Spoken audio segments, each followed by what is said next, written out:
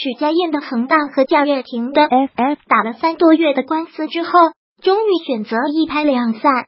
二零一八年的最后一天，恒大健康公告表示，恒大健康石影集团合资公司 SmartKin Limited 和其他相关方达成了重组协议，并已生效。其主要条款包括以下：石影对合资公司已做出的投资八亿美元，重组为持由合资公司百分之三十二的优先股权，持有合资公司全资附属公司。Evergrande Holding Hong Kong Limited 下称 FF 香港百分之一百股份。及重组协议下的权利，作价合计共两亿美元。FF 香港持有法拉第未来在内地的相关资产，包括 FF 中国和恒大法拉第等相关公司。和解后，原所有协议均立即终止。恒大健康撤销对 FF 的资产保全，恒大健康可以维持对 FF 的投资，但不用支付此前约定的剩余十二亿美元。FF 自获得通过资产抵押进行融资的可能性。FF 及原股东有权于五年内回购石银所持有的百分之三十二的股权，在第一到五年行使回购权，分别需要支付六亿美元、七亿美元、八亿美元、九点二亿美元和十点五亿美元。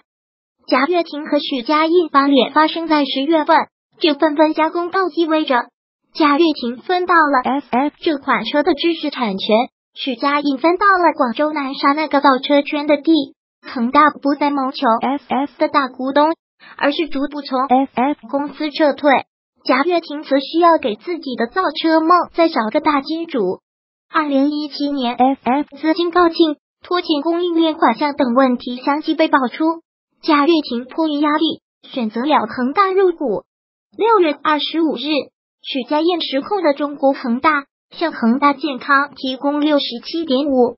亿港元，约合人民币五十六亿元的三年无抵押贷款，用于收购中裕集团主席赵度旗下的香港食饮有限公司百分之一百股权，从而间接获得 Smart King 公司百分之四十五的股权。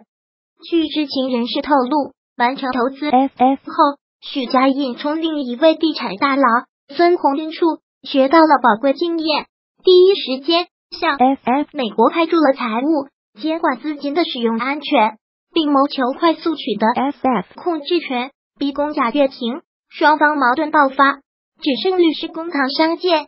FF 共有七位董事，恒大健康占据两席，FF 原高管团队占据五席。That smart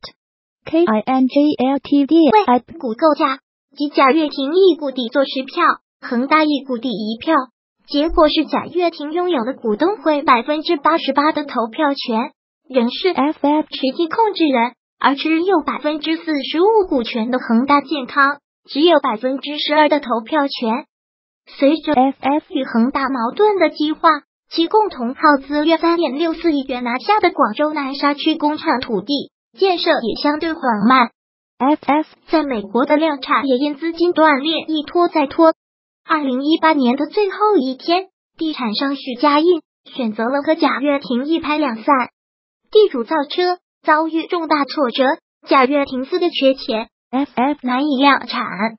但贾跃亭和许家印的造车故事，二零一九年还会继续在各自的舞台上上演。如果喜欢本视频，请分享并订阅本频道，别忘了按赞了。